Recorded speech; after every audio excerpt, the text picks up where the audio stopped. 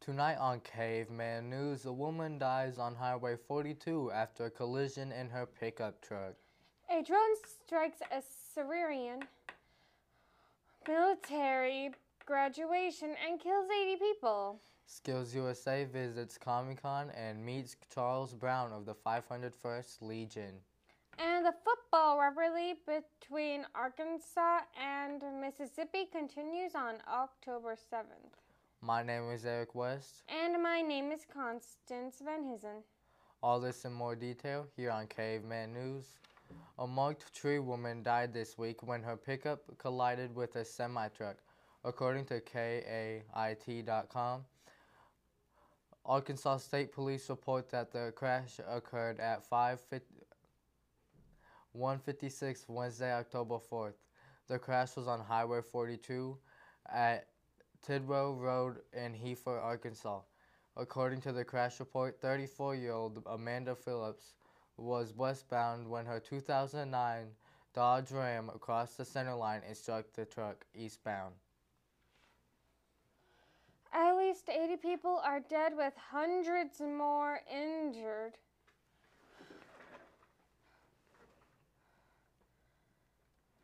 After a drone strike targeted a military graduation in the Syrian city of Homs last Thursday. This comes after 13 years of conflict has devastated the Middle Eastern region. Nation. According to PBS, Syrian officials believe that insurgents with international ties are behind the deadly attack. However, no group has come forward to claim responsibility.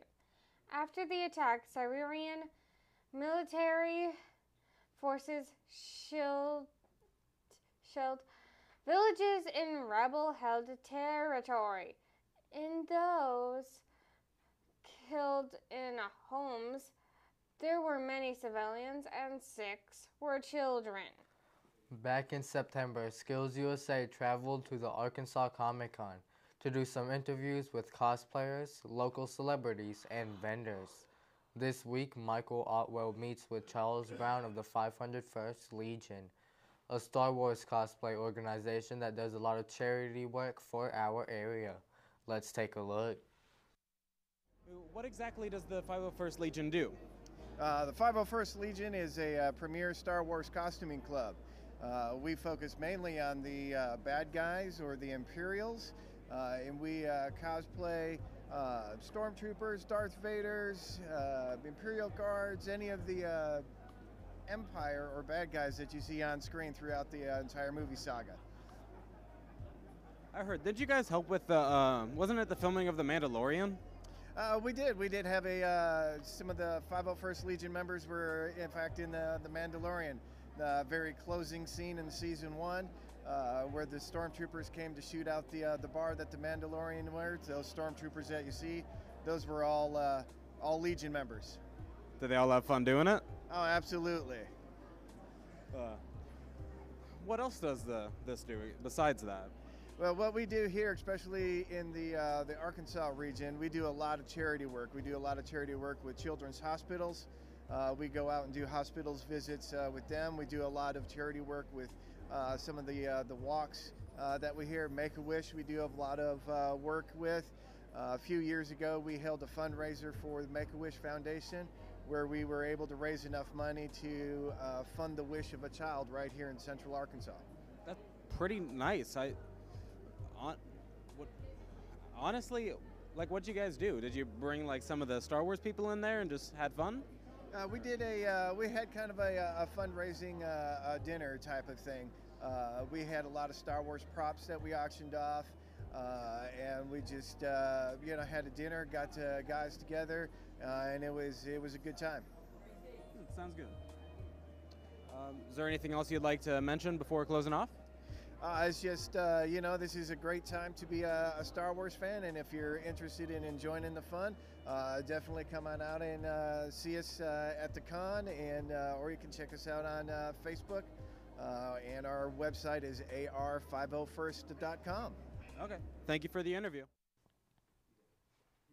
Mississippi and Arkansas are set to go head to head Saturday, leaving many college football fans wondering how it's going to go. Just last week, Ole Miss pulled a 55 to 49 win against LSU. This has Razorback fans worried about a possible comeback for Mississippi. Last season, Arkansas had destroyed Mississippi with a 42 to 27 victory. Most worrying, however, is the Razorbacks' current losing streak, with Arkansas losing their last three games. Whichever way the game ends up going, it should be interesting. The game was streamed on ESPN. So, um, how do you feel about Arkansas losing the last three games? Kind of disappointed, but I hope they will do better. That concludes today's Caveman News. I'm Eric West. And I'm Constance Van Hoosen. Thanks for tuning in and good night.